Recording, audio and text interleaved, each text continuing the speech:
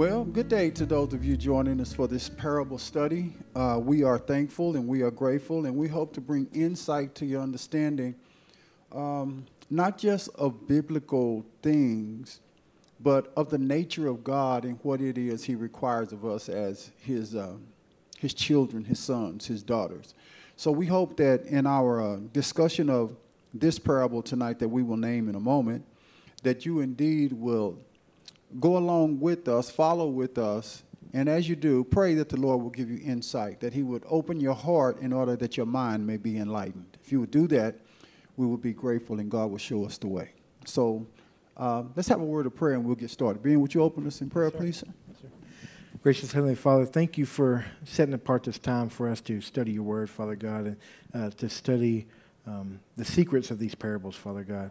I ask that you would. Um, that you would send your Holy Spirit upon each one of us, Father God, that, that we would uh, look at your word rightly and discern it correctly, Father God, uh, that we might grow in your kingdom and, and uh, those that might find this uh, and watch it later would, um, would be increased for your glory, Father God.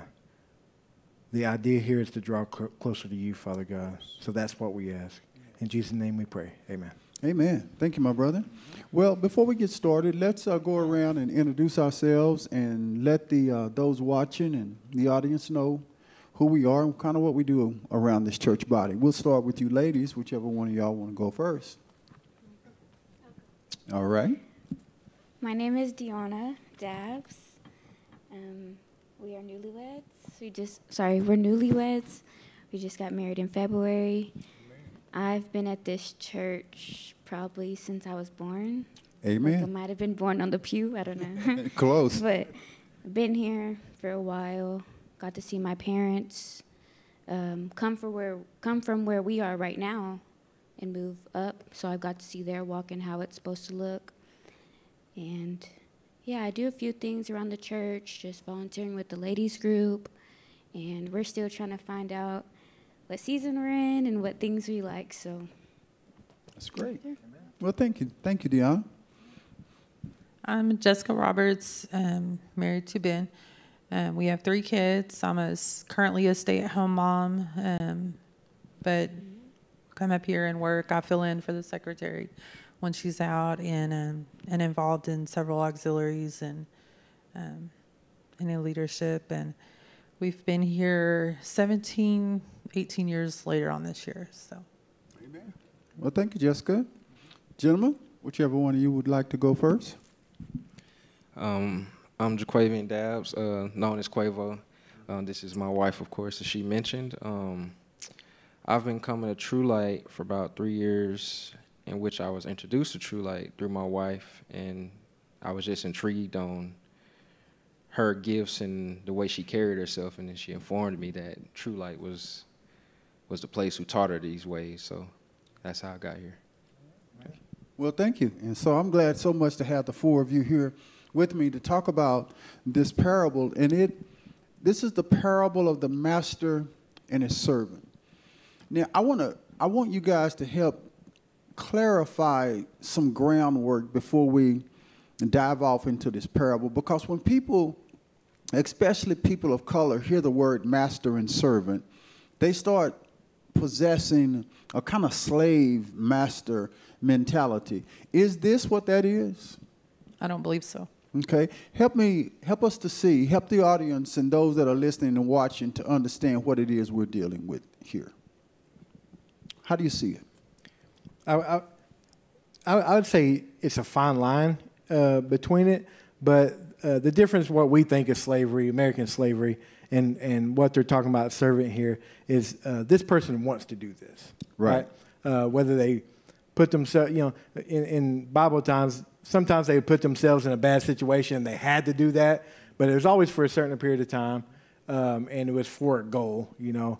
Um, and the Jews did it a lot different than the Americans Amen. did it, you know. But uh, yeah, uh, for, for, the most part, these people want to be a part of being a servant. Absolutely, absolutely. You have a word on that? Yeah, and just off the the slave and the servant, or the slave part, it's more of a. I like to think of it a tense word as a, as a, as a servant, as a as a helper, as a as a person that's that's assigned to do a job. So, you know. That's, that's very good. We could also relate it to um, an employer employee kind of relationship, which um, uh, would also fit uh, the scenario. But it has always been in the in the history of, of human beings, people who have owned other people. Was that necessarily God's intent? No, because it was mishandled from the beginning. It was mishandled. Doesn't matter what ethnicity that owned another ethnicity or propagated such a kind of display of ownership, that kind of thing, God never really intended at all to happen. So I just wanted y'all to help me kind of clarify that so that those who are watching can will understand what we're talking about. And in this parable found in the 17th chapter of the book of Luke, beginning at verse 10, uh, I'm sorry, beginning at verse 7, going through verse 10. But interesting enough, uh, ahead of this parable, he's talking about forgiveness. And he's talking about how many times a person should forgive his brother, someone that has harmed him. And I want to go up to verse 5 and 6 and kind of go down to verse 7. Okay. It talks about the apostle said to the Lord, Increase our faith. So the Lord said, if you have faith as a mustard seed, you can say to this mulberry tree, Be pulled up by the roots and be planted in the sea, and it would obey you. What is faith? How can you explain to the listener in a simple way what faith is? Believing in something higher than yourself. Okay. Okay. Um, okay. Believing in something that you can't physically see or it's not there right now, but you okay. you have a have it in your heart and your mind that it will come to. okay. It will unfold. Very good. Let me ask you this: Do you think all men have faith in something? Yes. Not necessarily God, but what are some types of things that people could have faith in? I think in themselves. They can have faith in themselves. They like to take things more into their hands than mm-hmm. anything else or above God. Okay. Okay. And the Bible is a book that teaches us that we were created by God. And therefore, everything that we are in any fashion should be centered around who He is. So faith must have an object. When we talk about the Christian, what then is the object of the Christian's faith? What is it the Christian God, believes? God is is who our is the object of our faith. Okay. Okay. Would y'all do y'all agree with that?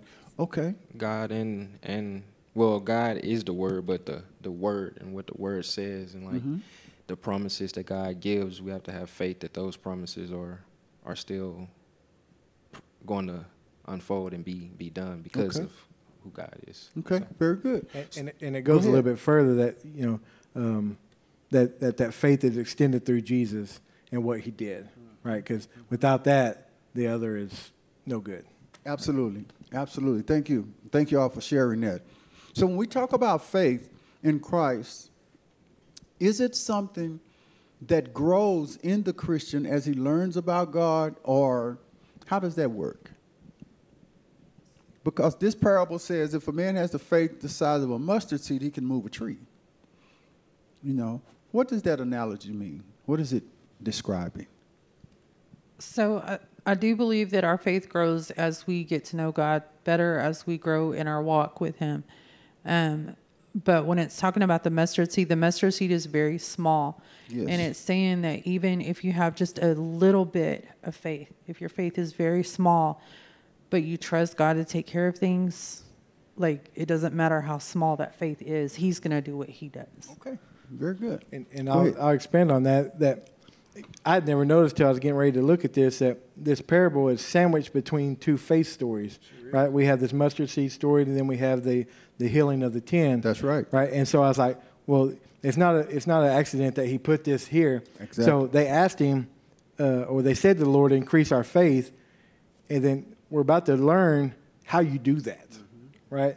Because we think it's just a knowing, Right. but uh, something else is happening. Amen. Right. All right. I, um, also, when I was doing the study on when they asked increased our faith, I think the the um, the apostles that were asking, I don't think they were, I don't think they realized what they were asking. I think they were asking um, Jesus for like some supernatural faith or some Okay. super faith, you know. And I think Jesus began to tell them like, it's not what you need. Like you, if you just have something so small, you can, you know, make it happen with with the small faith. You don't need. I don't need to give you a, a superpower faith. You know. Oh, very good. I'm going to ask you a very troublesome question through the generations of time. How is it, do all men who, and women, I don't mean to be gender specific, people that believe in God have faith in God? Well, Okay? if if you go to um, James 2 Mhm. Okay. um, per, perhaps, but not a saving faith. Good. There, there is in theology in this thing in Christian that we call common faith, okay, versus saving faith, saving grace. Uh, there is a difference. Uh, do you believe that there are people who go to church that believe they have found Christ but have not believed in him yet? That is the saddest thing, but it's absolutely true. Amen. And Amen. I believe a lot of people use the Bible and church as more of a. I mean, you can use it as a motivation, but it's more than a motivation. It's like you said, um, Jesus is our Savior. You have to have the faith that that His He died for our sins to. He he had the you have to have the faith that He died for our sins and that the things that played out were mm-hmm. supposed to play out. You don't come to church just to get a motivation for the day, a good spunk for the day. Like it has to be something that's that's believed in, whether you're here or not. That you walk out your job, mm-hmm. grocery store, whatever. It's not just a motivation. The Bible isn't just a book that you can pick pick up just to be motivated. It motivates you, but it's supposed to also save your life as well too. All right. So it's, it's something I noticed now that we can go and get certificates or certifications in things like motivational speaking. Okay? H- Um, and people like good motivational speakers because it does something to them. I don't know exactly what. But what is it that the Word of God is designed to do to and for the Christian in your words, in your expression? It is to instruct us and correct us and um, be our guide of who He is and who we are and who we're supposed to strive to be. Okay, okay. And this word servant then comes, if he is our Lord and our master, then who are we to him? Servants. Amen. That's what we are. We are his servants, okay, and we do his bidding. Let me read these passage, this passage, this parable. Verse 7, chapter 17. And which of you, having a servant plowing or tending sheep, will say to him when he has come in, in from the field, Come at once and sit down to eat? But will he not gather, rather say to him, Prepare something for my supper and grid and gird yourself, I'm sorry, and serve me till I have eaten and drunk. And afterward you will eat and drink. Does he think that the servant, because he did the things that were commanded him? I think not. So likewise, you, when you have done all those things which you are commanded, say, We are unprofitable servants. We have done what was our duty to do. What do you see in this parable? What's there? What's the overall meaning before we look into it? What's the overall meaning of this parable? We all have a role to play. Okay. Um, Okay. We, some of us, well, we're all servants to God, and we are supposed to serve others also. Um, but we all have to know our role. We are not equal with God in any way, um, and we don't deserve the grace we've been given, Okay. and we don't need or shouldn't expect a pat on the back for doing the things that we're supposed to do that He's told us to do. Excellent. Excellent. What else? Um, Jaquavian? like a real world example that came to me when I was studying this, because at first I didn't, I was reading this, I was like, "What you talking about, Jesus?" I don't know, like you know. But one of the things my dad used to always tell me, I remember one day I asked him for an allowance, And uh, Okay. he was like, "What you want an allowance for?" And I was like, "You know, taking out the trash, getting good grades." Right. And he looked at me. He was like, "So you want me to pay you to do something you're supposed to do?" He was like, "Whether I pay you or not, it has to get done." Right. And I think that's kind of where I had the realization of what Jesus was saying. Like, you have a duty. I don't need to. You don't need extra hand claps for doing what you were supposed to do Good point. anyway. You know. And I had a. uh, I had also had a self realization of. I was driving home from work. I'm a, a car salesman. All right. And I had a um, great week at work, and I Mhm. was, you know, feeling good about myself. Which Right. you, it's okay to feel good about myself, Sure. and I'm giving myself all these high accolades, praises to myself. Then it Mhm. dawned on me. Mhm. I was like, you didn't do nothing special. You just did your job. like, you just did your Right, job, and if you do your job, good things happen. That's it. So that's kind of where I got on like what Jesus is telling um, telling them in this. Okay, that's very good. That's very good. That's very good. No, the, the overall definition or defining in this parable is that no one should be expect any or should expect anything uh, miraculous to happen to come from rather what they are supposed to do. Okay, how do we relate that to our duty to God in Christian? What is it that we're supposed to be being and be doing? I think, kind of like what you said, like if you're a servant, be a servant. Mhm. If you're, ma- you know, a Right. master, but servants shouldn't try to be doing master work and, you know, Good everybody Deanna. again play your parts, do what you were commanded to do, what Mhm. you were meant to do, Mm-hmm. because you were told to do. Okay. So, in, in this life, as servants to God, what are a few of the things that's required at our hands as servants? What is, what is the requirement in Christian? What are we called to be and do? We're called to show others Christ, Okay. um, and by the by the way that we deal with them Mhm. and in relationship with them. Um, but we also talked about it in another parable that we have done. Um, you know, we're supposed to clothe people who need clothing. Mm-hmm. We're supposed to feed those that are, need food and give drink to those who need Very drink.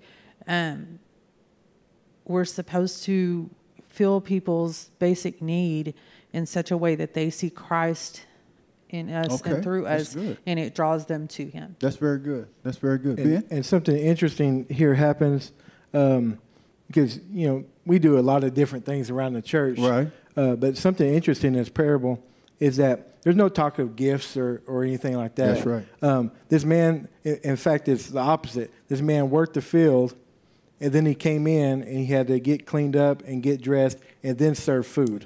right. So um, we we find that every now and again I'll say something like, "I'm not going to do this," and it like Right, like I understand. be over VBS or something like that. Um, but uh, yes, I will if that's what's required, right? If there's and and I think the leadership of this church does a pretty good job of filling the gaps on things Yes. that we're not necessarily supposed to do. Right. I it's mean, not in our job want- yeah. description, if you will. That's good. That's good. That's real good. That's a good example. All of y'all's uh, wording is right. A servant, we are called. There are other passages of scripture we could line alongside of this that would help us to better understand it because this is a short, a very short parable, but you have to read this one several times to kind of get what's really going on in here because it looks like the man is doing double duty. That the servant, and I'm not going to ask you to come in from work and then set you down and I serve you, but you're going to continue. You served in one capacity. I'm only going to move you to serving into another capacity. One of the things the scripture says that the Lord, as, as his servants, us, we are called to be salt and light you you hit those things in your descriptive uh, and you're describing what it is that's required of us. So let's take that a little further.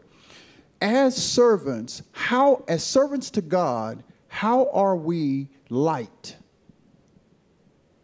What does that mean? To someone watching us and we're trying to help them understand what a servant is and we are to be salt and light as servants to god on the earth what does it mean to be light? We illuminate Christ. They see Christ when they see us do or say whatever it is we're doing or saying.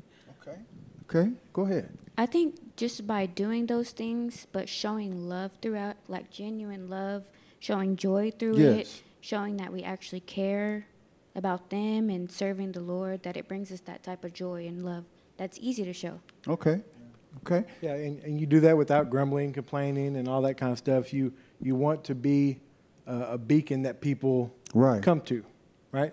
Like Right. they where they can look at you and say that's light. You Yes. Know? Uh, and and later on, that comes with um, you'll counsel them and disciple Mm-hmm. them and all kinds of things because you're that light. You know, because i i anybody could be darkness. Very easy to Mm-hmm. Be darkness. Right. That's good. That's good. So there's a, a old verbiage uh, that people use sometimes when they're trying to describe what it is uh, Christians ought to be. That says uh, Christians are those people who preach the Bible and they use words when it's necessary.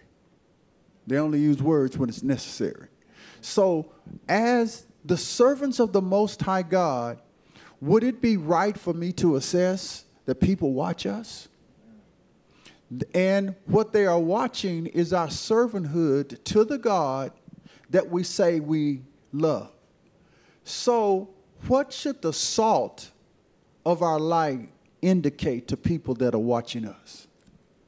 Um, I was uh, talking to um, brother Matthew one day, and he was Mm-hmm. saying, you know, I'm gonna stop telling people, like I'm gonna stop telling people I'm Christian.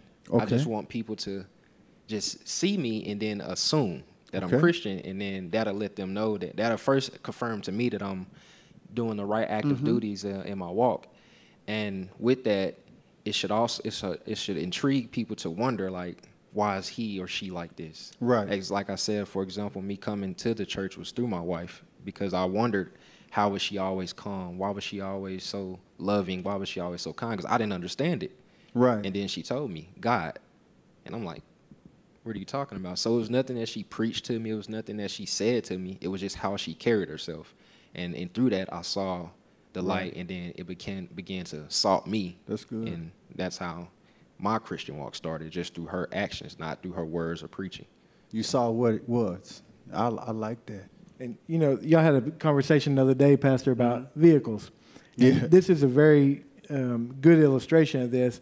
Um, and you, you said um, because of the stigma that comes with preachers, I would never own a Mercedes. Right. Though you can probably afford one, right?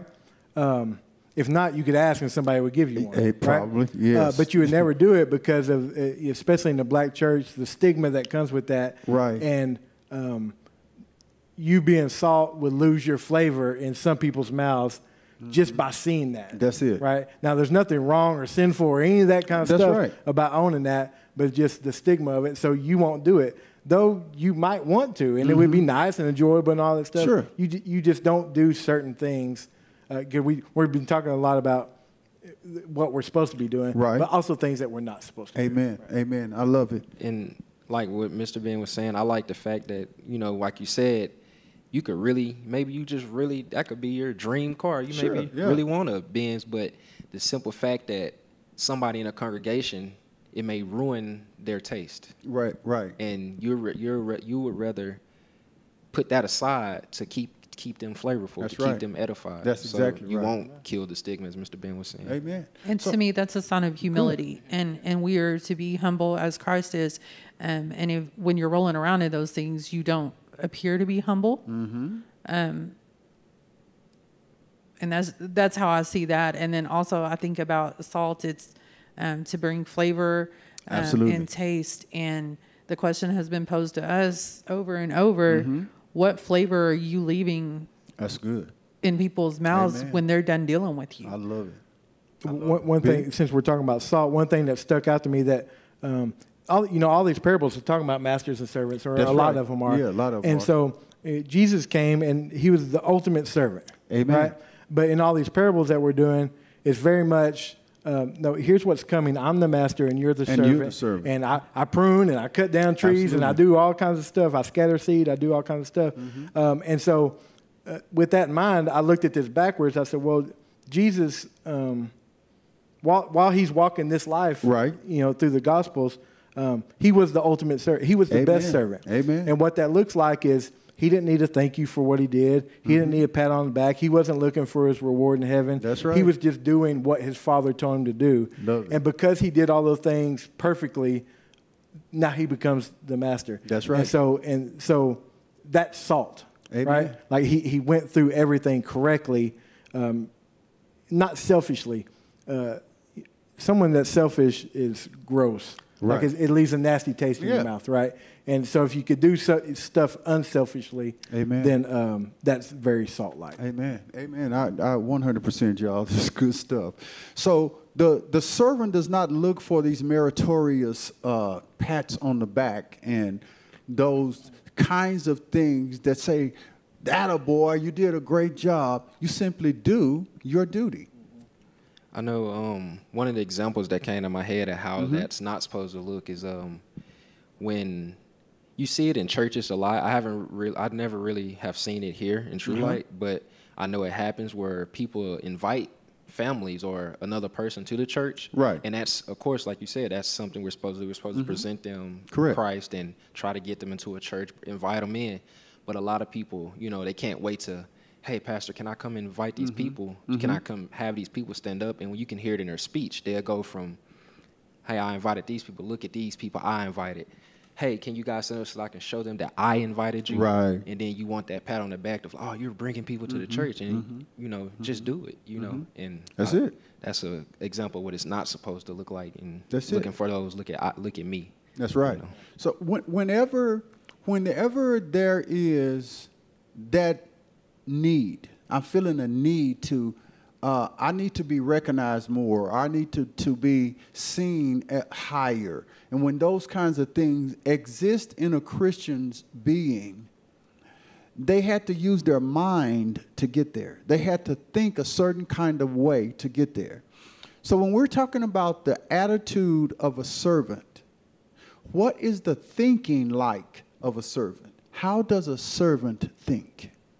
um, like you just said, you had to use your mind. So if you have to really contemplate on your mind, contemplating your mind to Mm-hmm. get yourself these accolades, it's no longer serving the kingdom of God. It's serving yourself. It's Yeah. it's a self agenda. It's no longer Okay. God's agenda in a sense. I believe if you're using your own mind to contemplate, how can I how can I get people to see me? It shouldn't be that. It should be how can I get people to see God? Mm-hmm. Okay. But when you do it that way, it takes away from the God agenda. It's a self agenda at that point. You become the selfish person. Every time. So, listener, uh, those who are watching us, who's, wa- who's watching us um, in this particular parable, we want to communicate to you that it's really, really important how one thinks. Because would I be right to say that our actions follow our thinking? That we will be like we think. So, how important is it for the Christian then to think rightly, and where do we get that thought from? How do we learn how to think rightly? Where's the coach? Who's the coach? God, and by being in your word. Amen. Um, so what you take in will come out. And so if you're taking in the word, if you're taking in um, listening to God speak when you pray um, and those things, Mm-hmm. then God is what will come out. But when you're putting the things of the world in, the selfishness and all that, that's what will come out. Okay, that's right on. Are you telling me that if I spend time here, and I, for those of you who are watching, you may not be able to see, but I'm laying my hand on my Bible, the Word of God, that if I spend time here with God in the Word of God, that He can train my thinking? Is that what you're telling me? How does that happen? Well, and I'll say it's a delicate balance too, because Mhm. if you just do this, um, then your thinking that will not be well. That's what this parable is teaching us. Yes. Right. If you want to increase your faith, you think a certain thing about God, you read His Word and, and study His Word and apply it to your life, and you do stuff. Hey. Right. And and you know we, we see it all the time in church that people are in church for years and they don't do anything. And there's just kind of a stagnant. Um, almost like you're you're dragging a trash bag behind you, you know, like that's full or something. It's like you, you have to bring this along with you. And the people that are moving their feet, uh, they have the same problems as anybody Amen. else. Amen. But um, but it changes the way that you think, right? It, it's It not all about me. Let me just I'll just do. I'm an unworthy servant. Let me just do what I have to do. Right? Amen. Amen. I agree with that fully. I also think uh, when it comes to training your thinking for any ages, but especially younger generations, Right. is important to to also rely on what the book says, what the Bible, what the Word of God says, but to find an elder who who spent more years thinking than you have, you know, because they can. I guess enhance your thinking or let you know if you're thinking incorrectly and show you where to go find the right thoughts. You know, and I think it's also important once you find out um, if you're thinking correctly Mm-hmm. and once you get fed well to go share it so you won't revert into the same thinking because I, I I read a book called the remedy of life and uh, Mm-hmm. one of the quotes in the book was the only way you can keep it is if you share it or if you give it away Yeah, give and it i away. think that's a very important way to train your thoughts like once you get that fixed go share it that way you can f- help the younger that way they won't even have to get to the point you were at Okay. Very good. And I remember like Mm-hmm. every major milestone in church where um, where I felt like like I need to get going on something was was not necessarily from the spoken word or in a Bible study. It was me like I remember when um, when I thought to myself, I need to become a deacon. It's Okay. because I saw a, a deacon doing something. I was like, man, like he's just working for free and he's smiling and doing God's work. And I was like, I don't know what it is that he's doing. And I've been here three or four years at that Right, time. right. And but I was like, whatever that is, I want to do that, right? You know, because he just, uh, you know, and and I was just watching him. Nobody would told me like, here's what you are doing. So I was like, well, what is a deacon? Let's figure that out, you know. And so, um, yeah. Yeah, I like that. I like that. So let me let me turn a little bit in the parable, because you have the servant in in initial in the initiation of this parable, uh, serving in one arena, and then having to understand that he has to change clothes and serve in another arena.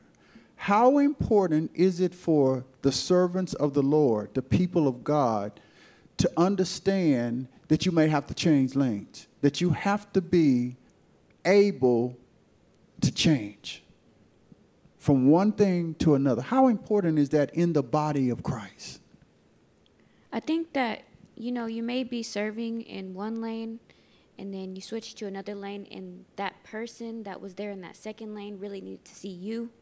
So just going, doing what you're supposed to be doing.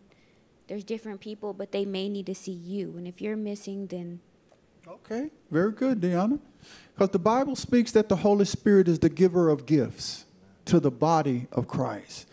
Uh, and it is just my personal belief. This is not, I'm not saying it because the word says it, that the scripture says that he gives several as he chooses.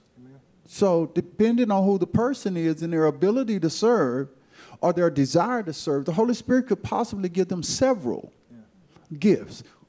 Go ahead. and and you don't know like you you could have a gift and you could even think you want to do something but until you try a bunch of things you don't really know so you know um, I'm, I'm not real fond of kids i don't like being around other people's Right, kids me either. but i teach a vbs class and like this is i'm so excited about it. like this Amen. is so wonderful um, probably the be- the one thing in church that I do that I love the most is Sunday school teaching.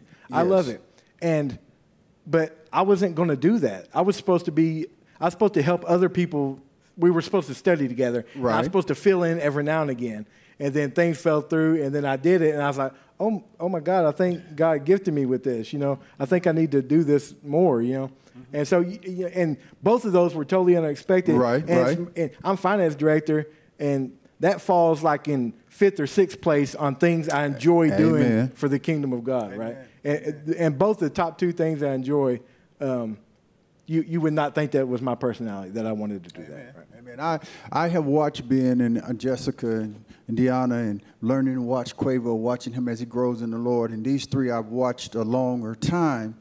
And uh, ver- not very often do I get to see a person like yourself, like yourself, like yourself, who who's lifted positionally in the church, but they become more humble. Usually, when you see in the church people serving, when their servant area is granted a higher position of servanthood, you usually see their head go with it, their thinking go with it.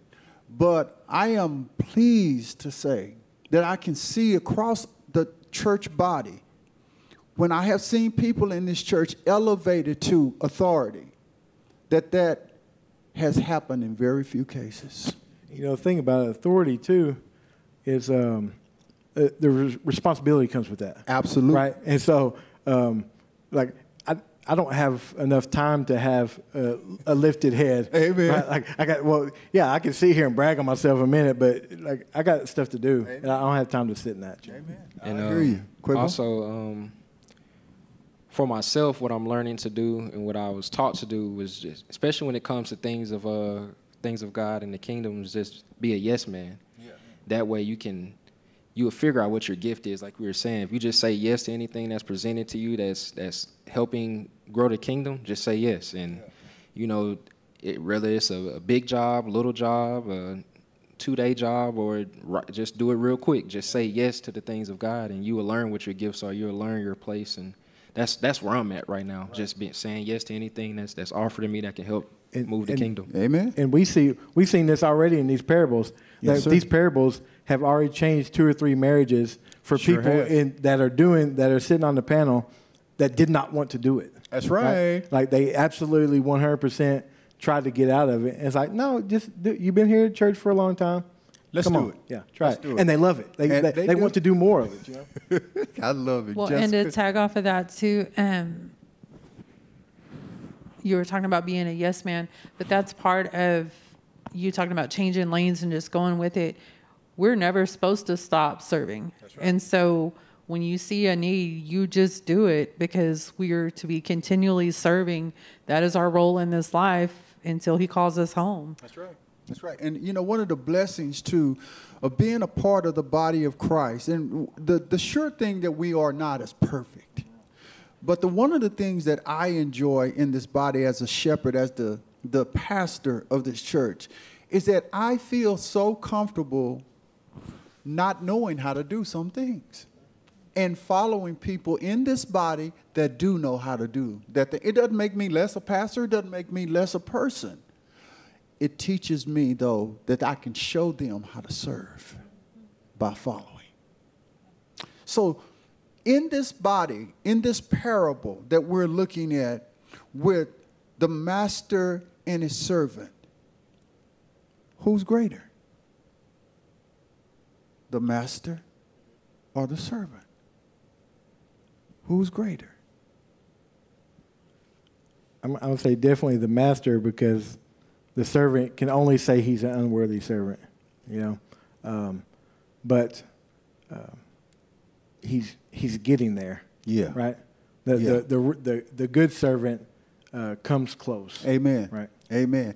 And in this, we learn, and Christ taught us this, because when his disciples were arguing over who was the greatest, who was going to be left in charge, and all of this stuff, he simply got a wash bowl and towel, and he started washing their feet.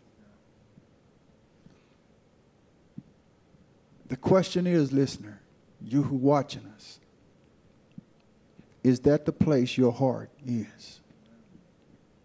Can you lower yourself? That would be the world's verbiage. The biblical version would be can you lift yourself to wash your brother's feet? One last thing before we shut down this parable. I want y'all to speak to the people out there that's watching this, and I want you to communicate in them in a sentence or two. How important is it for the body of Christ, the church, to serve one another? How important is that? To be servants to one another. Deanna? I think if we're not servants to one another, the church will not grow. The church will not get better. Will not. Wow. Excellent. Excellent. Anybody else? That was excellent. And with that, everybody has to have a. Everybody needs a friend. Yes, sir. You know, like you think about you, Pastor. Like you're the pastor of the church, the uh, head pastor of the church, and it's like we need to, as your, as the congregation, we need to do our job into helping you. Like it shouldn't be so much pastor do it, pastor do Amen. it, Amen. Pastor Rayon to I do agree. it, Pastor James to do it, Mr. Ben to do it. Yeah. I, as myself, I'm not. I don't have any. I guess accolades. I'm part of the mm-hmm. congregation, mm-hmm. part of the mem- but mm-hmm. part of the family. But in any way that I can help make your service easier, any way I can help make make Mr. Ben's service, like I should just whatever I can do Amen. because it, it it may bring other people along. Like, well, let me go help Quavo, help Sure enough. Pastor Roy, Sure and enough. then you can. I have five people helping me, help them, help you, and I love it, it. just keeps going. You know, it's a cycle that you you can't stop once it, once it's done. I like your choice of words. It's a cycle. I, I want to highlight uh, a portion of what you said, how important it is uh, for the body of Christ to serve one another. All right. Um, after this this parable, they um, he heals the nine, the ten. He sends them away um, to go do a work, right? Uh, go show yourself to the priest. And so nine went and did the work, Right. and one had faith, and he came back, right? Um, and said, Your faith has made you whole. So, what we do in the church is different from um, volunteering at the food bank and um, United Way and all those type of places, right? Because because work is useless and faith is useless. They have to be together. That's right. And um, and that so to me that's why what we do in the church every single thing in the church is different than anything else that you could do because it's the only place that those two things are tied together you Better believe it. That is super, man. Y'all have been really, really exciting to listen to. And uh, listener and watcher, those of you who will tune into this um, later on, we have a motto, a True Lite we live by, loving God and loving people. Substituting for the word love, we could use the word serve. Serving God and serving people. We leave you with that. God bless you. God keep you. Let's pray. Father, we thank you for our time here this evening, talking over, musing over this parable of the master and his servant. For you are our Lord, and we are bent on serving you. No excuses. None of them will work. You have called us to a specified duty to learn how to love you and to learn how to love people. And we will do everything in our power by using your power to do just that very thing. Help us, Lord. For if you don't, we have no way of getting there. We ask it in Jesus' name. Amen. God bless you, listener. See you next time.